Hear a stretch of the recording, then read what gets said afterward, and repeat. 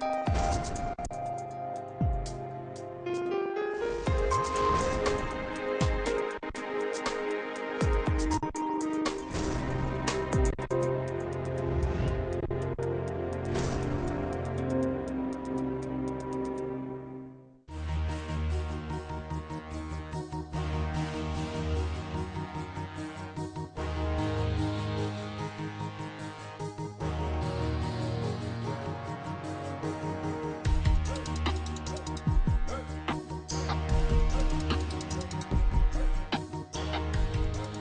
Ideja da se u Europi formira jedinstveni istraživački prostor, da se povežu znanja, institucionalni kapaciteti, mladi istraživački talenti iskusni naučnici u proces stalnog učenja, naučnog razvoja i primjene nauke u industriji, dolaskom do inovativnih ideja i rješenja, već godinama se podstiče takozvanim okvirnim programima za istraživanje i tehnološki razvoj.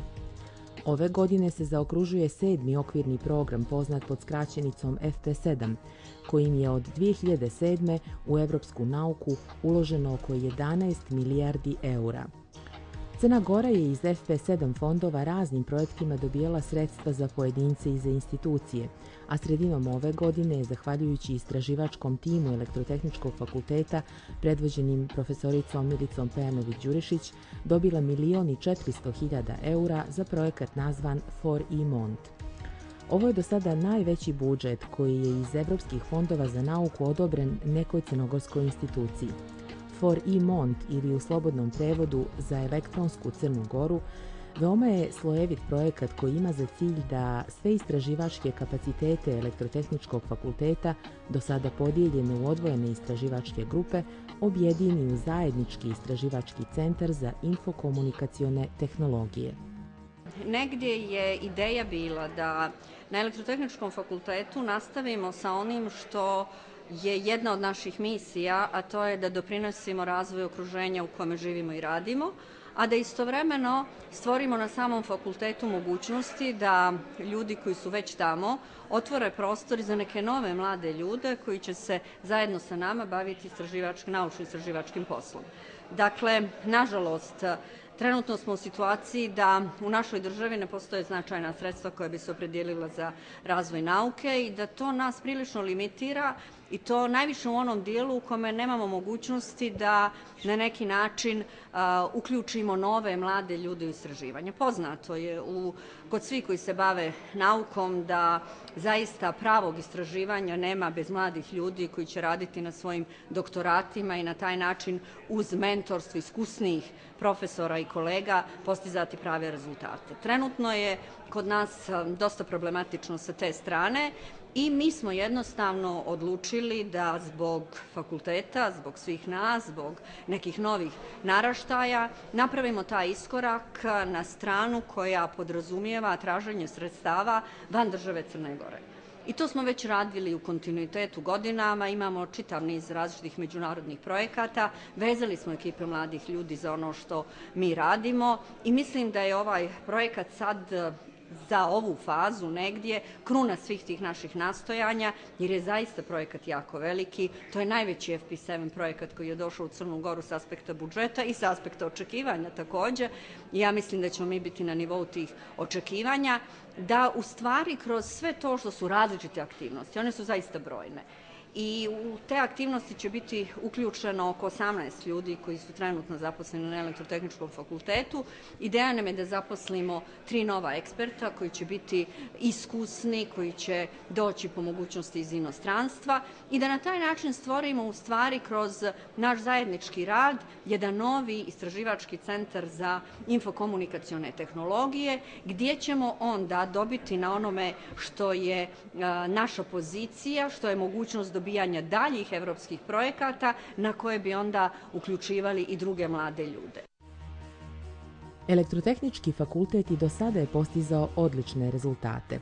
Naši naučnici su i do sada sticali reference u naučnim časopisima, sarađivali sa evropskim i svjetskim naučnim centrima i univerzitetima.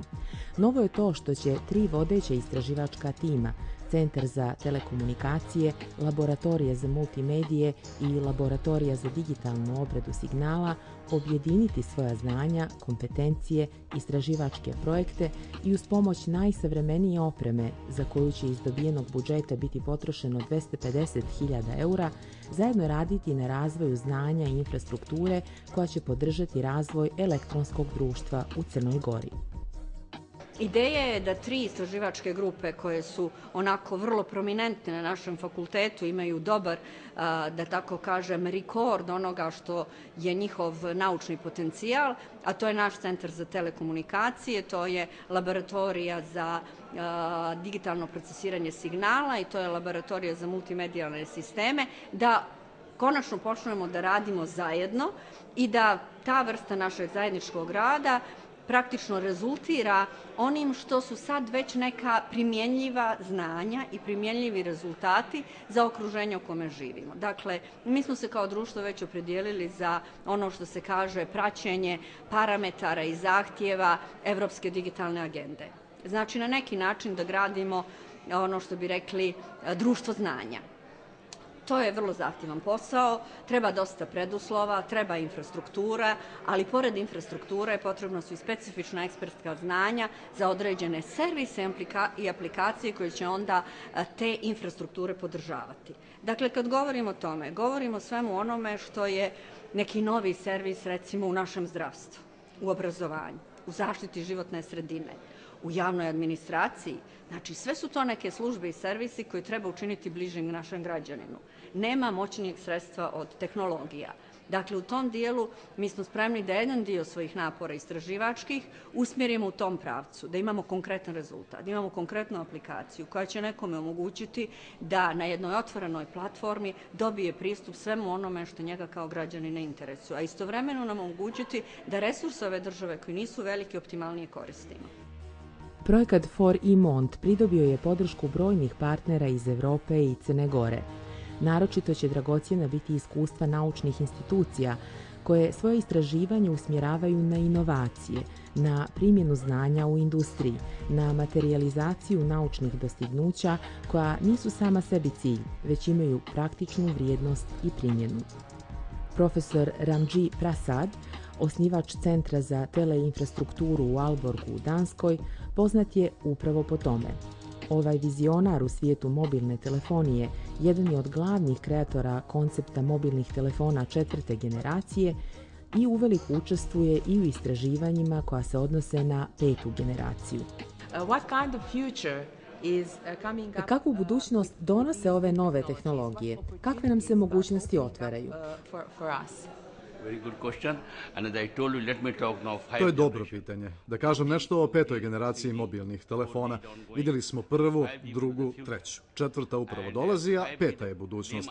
Dali smo joj ime Mudrost, Wisdom, što je skraćenica za naziv Bežični inovativni sistem za dinamičnu operativnu megakomunikaciju.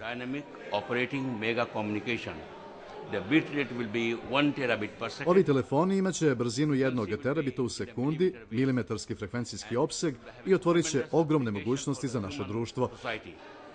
Uh, Očekujem da će peta generacija mobilnih telefona biti dostupna do 2020. Okvirni program Europske unije za istraživanje i inovaciju, poznat kao Horizont 2020. ima u fokusu petu generaciju mobilnih telefona. Uh, Pomenuli ste da će se otvoriti mogućnosti za najrazličitije aplikacije. Možete li nam navesti neki primjer? Evo nekih primjera za aplikacije. U budućnosti će populacija biti sve starija, sve više ima starih ljudi, a mlada populacija je u opadanju. Mobilni telefoni pete generacije omogućit će da se brinemo o starijim osobama od medicinske pomoći do svakodnevnog života. Najveća prednost telefona pete generacije bit će upravo to, kako omogućiti bolji život za stare osobe. Život svakog čovjeka će imati više mogućnosti nego što je to slučaj danas. To je jedna aplikacija. How to create better life for them. Average life of human being will be much larger than what we have today. Druga se recimo odnosi na to kako ćemo komunicirati i eksperimentisati sa novim stvarima. Možemo da budemo u Crnoj Gori i da radimo eksperiment sa kolegama iz Njemačke, Indije, Kine i razmjenjujemo informacije.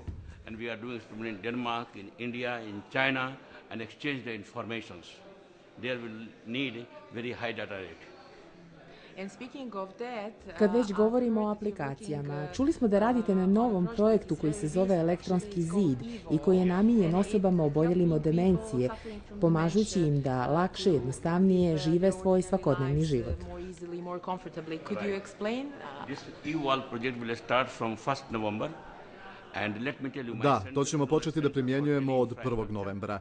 Ja sam u Danskoj osnovao centar za teleinfrastrukturu i on ima svoje odjeljenja u Indiji, Japanu, Italiji, Sjedinjenim državama i tako dalje.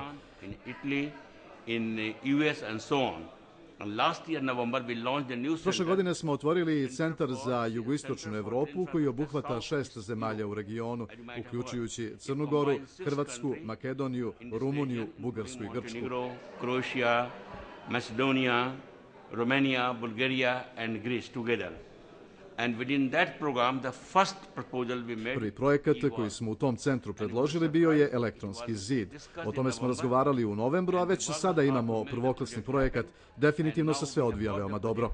Elektronski zid ćemo promovisati početkom novembra u Danskoj, u Alborgu.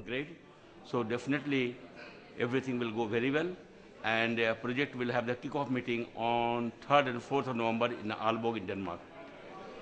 Okay, okay. Uh, well, let me ask you just one more question. You're well Poznati ste po sposobnosti da materializujete svoje istraživanja, da ih učinite, da tako kažem, opipljivim, živim.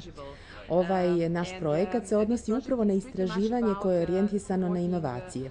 Kako možemo da to podstaknemo u regionu i u Crnoj Gori? Innovation oriented research in, in Montenegro or in this region? What is your opinion? To je veoma dobro pitanje. Tim stručnjaka u mom centru radi na istraživanju koje vodi inovaciji i koje opet vodi komercijalizaciji. Mi motivišemo naše najmlađe studente da rade inovativne istraživanja koja se onda mogu materializovati u industriji i donijeti komercijalnu dobit.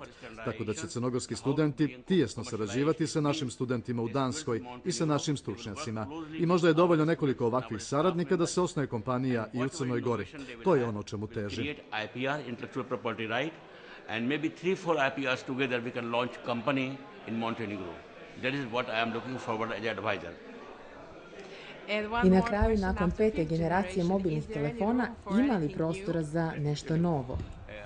Jednog mog bivšeg doktoranta koji radi za Nokia pitali su isto pitanje. On je odgovorio, nakon četvrte, pete i šeste generacije, 5G, 6G, ostaje još samo RAM-G mobilna telefonija, po mom imenu. Tokom trogodišnjeg trajanja projekta For Imont, naši istraživači posjetit će mnoge reprezentativne naučno-istraživačke centre kao i kompanije koje uspješno povezuju nauku i industriju.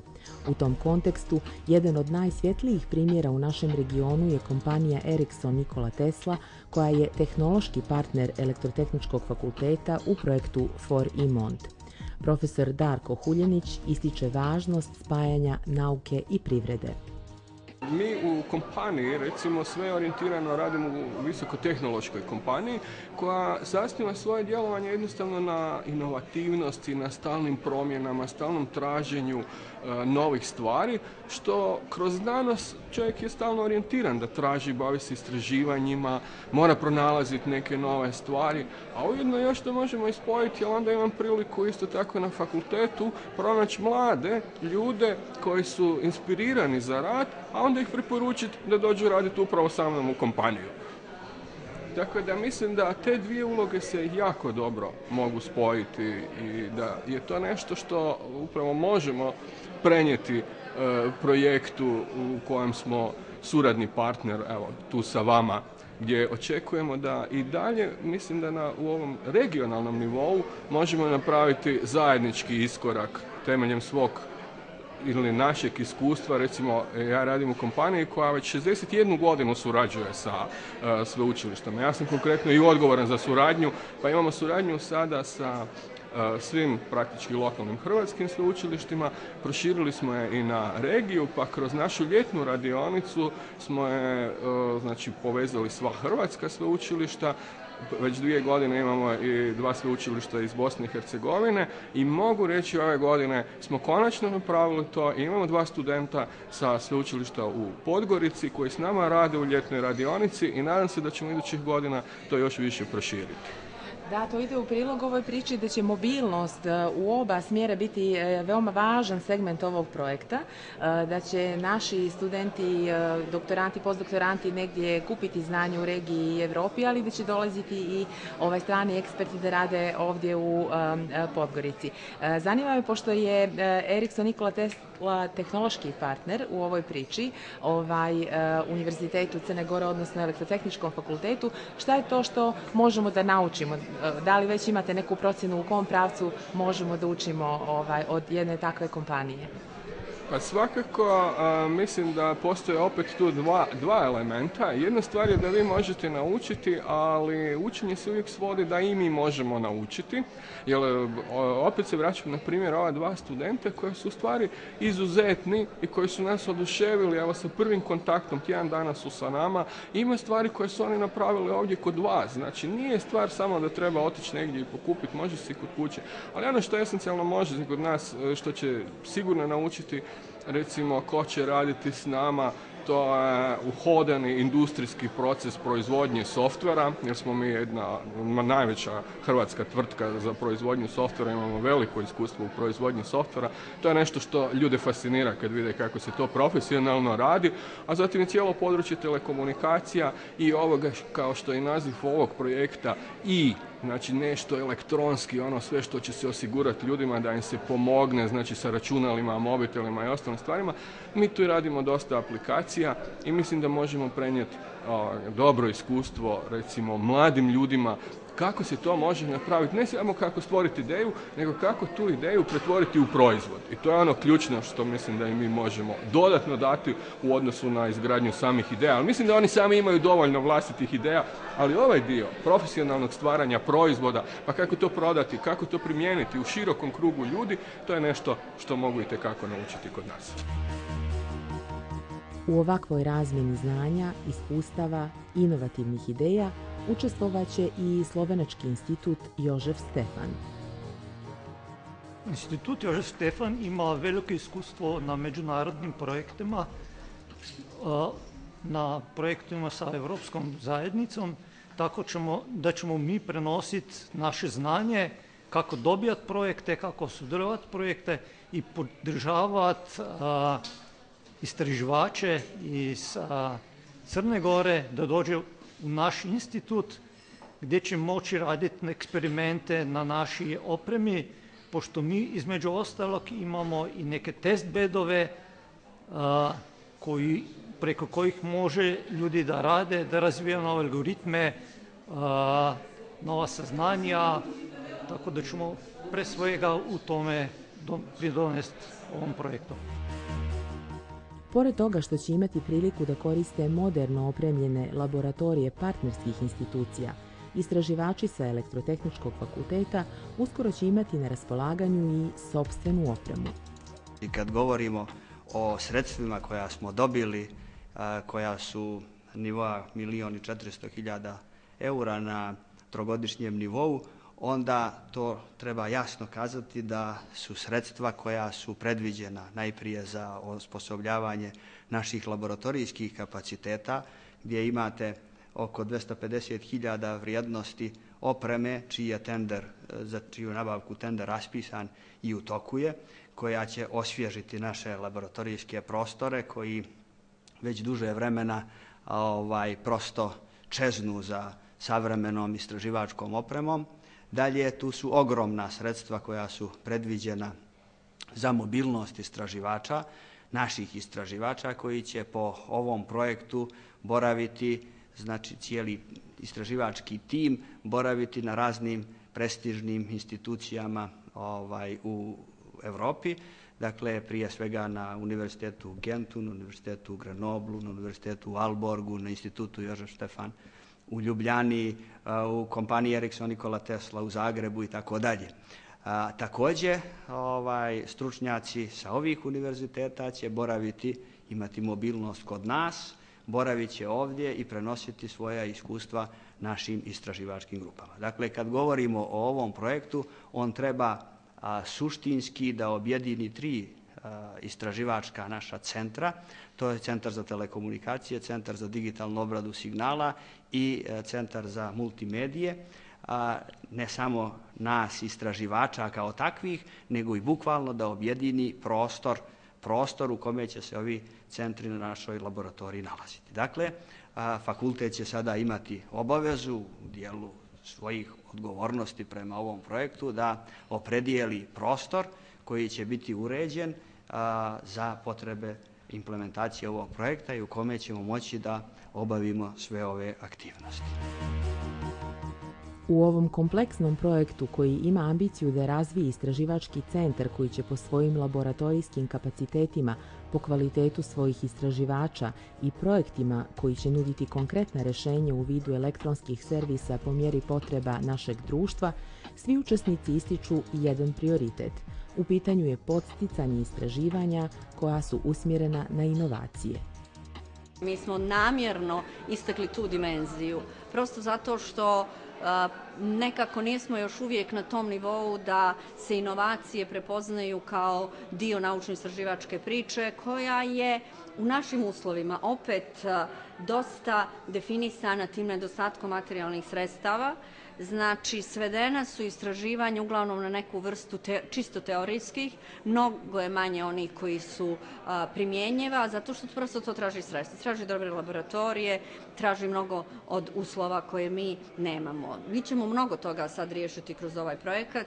Ja ću vam reći da je u toku upravo javni tender za nabavku opreme za taj budući centar koji je oko 250.000 eura i naša ideja da sa tom opremom zaista budemo u mogućnosti da simuliramo realne sisteme i da onda na njima probamo te nove aplikacije koje onda možemo ponuditi svom okruženju i u stvari sa ostalima koji su zainteresovani ponuditi zaista primjenljiva rešenja koja mogu biti od koristi. U svemu tome ta inovativna dimenzija je vrlo bitna i, bitno je ono što smo predvidjeli, a to je da uvedemo novi sistem kontrola i upravljanja intelektualnom svojinom. To mi apsolutno nemamo i to nama predstavlja veliki hendikep u odnosima sa našim partnerima u Evropi i u svijetu, a predstavlja i veliki hendikep za naše istraživače. Znate, prosto u nedostatku te vrste prakse i te vrste mogućnosti. Nerijetko mi smo bili u situaciji da saznamo da su radovi koje smo mi radili, da su naši rezultati iskorišćeni za dobijanje patenata u Americi, u Danskoj, u Njemačkoj.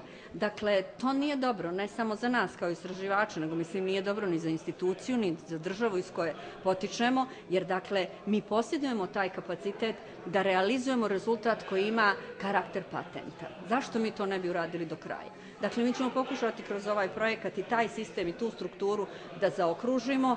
Imamo ideju da zaposlimo i zato postoji budžet u projektu, posebnog menadžera za intelektualnu svojinu i nadamo se da će nam on pomoći da sve stavimo na svoje mjesto i da zaista onda ljudi budu motivisani da to što je rezultat njihovog naučnog istraživanja pretoče u neku vrstu konkretne priče.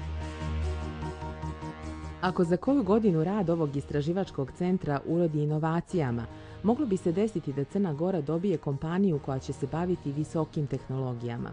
Profesor Ramji Prasad, čiji centar za teleinfrastrukturu ima svoje podružnice i kompanije u Šangaju, Yokohami, Silikonskoj dolini, zainteresovan je za pokretanje biznisa u našoj zemlji. Let me tell you very clearly that we will define a very interesting problem for research. Budimo veoma jasni. Mi ćemo ovim projektom definisati veoma interesantan istraživački program. Crnogorski studenti će raditi na inovativnim istraživanjima. Imamo jedinstven pristup i cilj će nam biti patenti u ovoj oblasti koje ćemo zaštititi kao intelektualnu svojinu.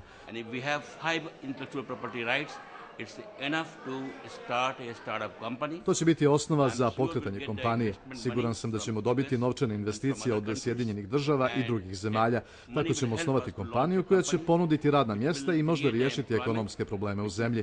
Neće to biti samo jedna kompanija. Pokušat ćemo da osnemo dvije ili tri kompanije. Projekat For E Mont koji nakon ovog predstavljanja široj javnosti polako započinje svoj život na elektrotehničkom fakultetu, postavio je u naredne tri godine više ambicioznih ciljeva. Razvijanje istraživanja orijentisanih na inovativna rješenja možda je najambiciozniji zahtjev. Uspjeh u ovoj oblasti bio bi važan iskustveni iskorak u ekonomiju znanja o kojoj smo do sada uglavnom samo pričali.